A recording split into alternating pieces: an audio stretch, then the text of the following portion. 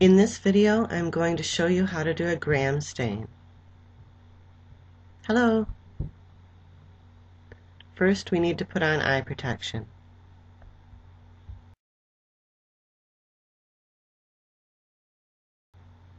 Here's my gram stain procedure. My first step will be to apply crystal violet to the slide. That's my primary stain. It's purple. I leave that on for one minute and then I rinse. The second step is to apply Gram's iodine. This is a mordant that will bind with the crystal violet. I leave that on for one minute and then I rinse. Third step is to apply acetone alcohol. This is a decolorizer. It will remove the purple stain from my gram-negative bacteria. I run that over the slide for 10 to 15 seconds and then rinse. My last step is to apply safranin. This is a pink stain that will stain the gram-negative bacteria. It is my counter stain. So I start with a bacterial smear. My slide has been prepared with a gram-positive control on the left, a gram-negative control on the right, and my unknown bacteria in the center. So my first step is to apply crystal violet. This is my primary stain.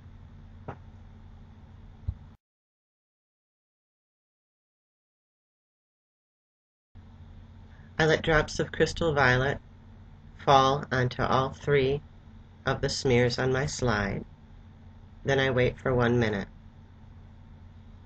After one minute, I rinse.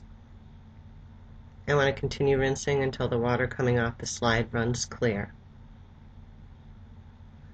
At this point, all of my samples are stained purple with the crystal violet.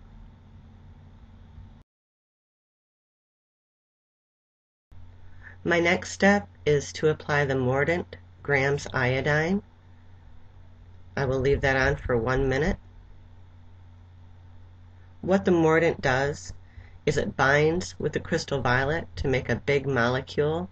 This big molecule gets trapped in the many layers of peptidoglycan in the gram-positive cell wall. Gram-negative cell walls do have peptidoglycan, but fewer layers and the big molecule does not get trapped in the gram-negative cell wall.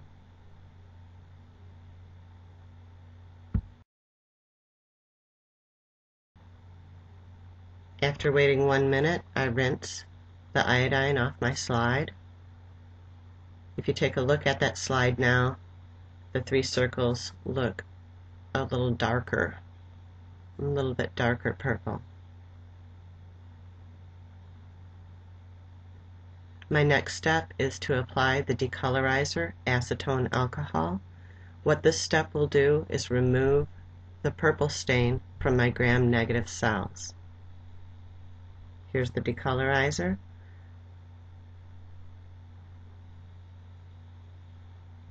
I like to hold my slide at an angle vertically and drip that decolorizer down the slide that way I can see the color being removed from the gram-negative bacterial smear. And then I know things are working right. So I let that drip for 10 to 15 seconds and watch that color leave the gram-negative control.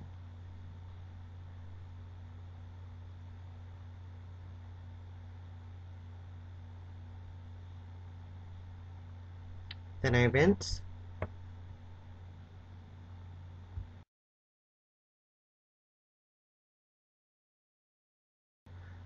Let's take a look at the slide now. I'm sorry, but it is reversed. I'm holding it upside down, and that puts the gram-negative control on the left, and you can see that the color was removed from that gram-negative control. It also looks like the color was removed from the unknown.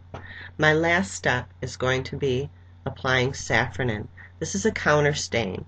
My gram-negative bacteria don't have any stain in them at this point, and I need to add a stain so I can see them under the scope.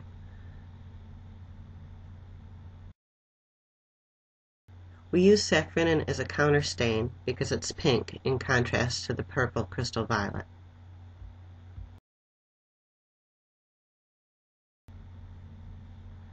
I let the drops of safranin fall onto the slide. making sure I cover all three bacterial smears.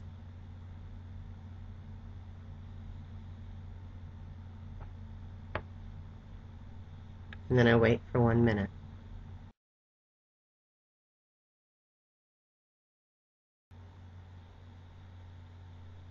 The end of that minute, I rinse my slide. This will be the last stop.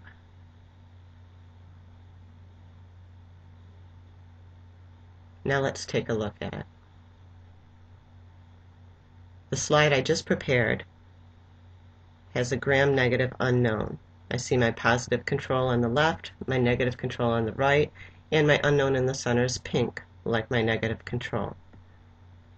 I'd also like to show you an example of another slide that I prepared with a gram-positive unknown. You see my positive control on the left, my negative control on the right, and this unknown is purple, like the positive control.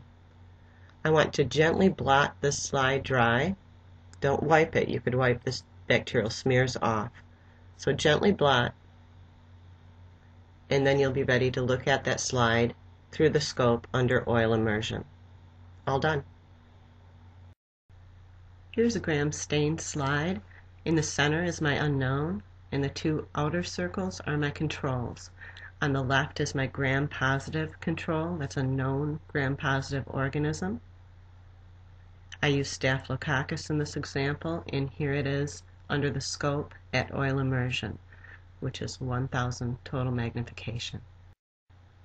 My gram-negative control is on the right. It's stained pink, meaning that it's retained the counter stain. In this sample, I've used Escherichia coli, or E. coli, a known gram-negative organism, and this photo has been photoshopped to make the bacteria a little sexier. More seriously nerdy, amazing free stuff at scienceprofonline.com.